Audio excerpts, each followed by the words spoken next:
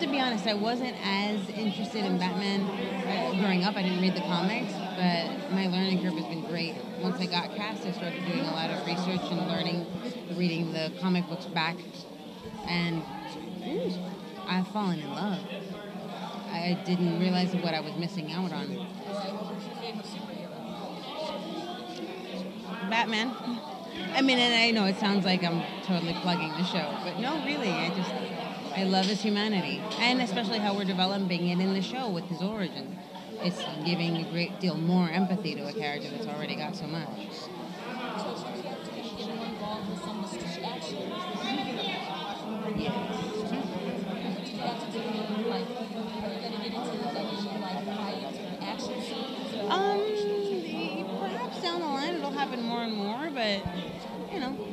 Dabble here, a dabble there, but for the most part, I'm keeping my boys safe back at the precinct as best I can. so far, I've really fallen in love with Oswald. I mean, like, a lot. I love him.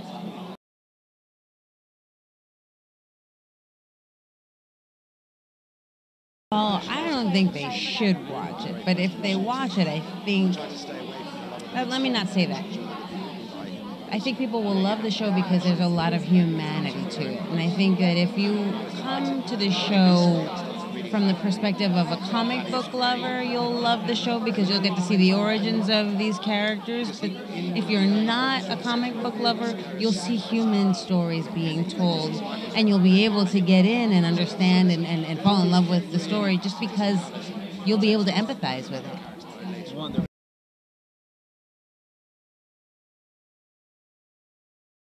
In episode. Yes, but I want to know from you because I will tell you.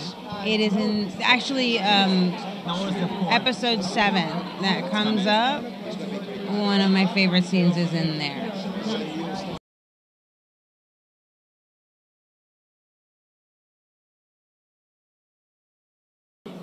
the Joker and the Riddler are awesome, but I mean, I don't know if there's going to be anyone who can top uh, Robin Lord Taylor as the Penguin. So, but it'll be fun to see Harley Quinn and uh, when Harvey Dent becomes Two Face. I think it'll be that'll be great too. Well, Harvey Dent's on the show now, so Harvey, there's a different Harvey Dent for sure. Do a lot of action in the last few episodes for sure. So, and Alfred Pennyworth goes ape S H I whatever. He goes nuts. So it, fans will be psyched to see Alfred get out of Wayne Manor.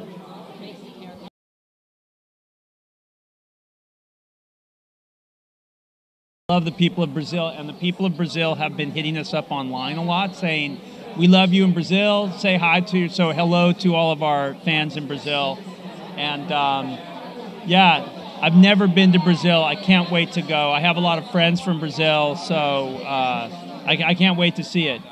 Wonderful. Thank you very much. Uh, thank you, Brazil. Take care. Congratulations on your recent victory. I see Neymar just scored four goals yesterday, so Brazil's back on where they should be. Awesome. All right, great. Thank you.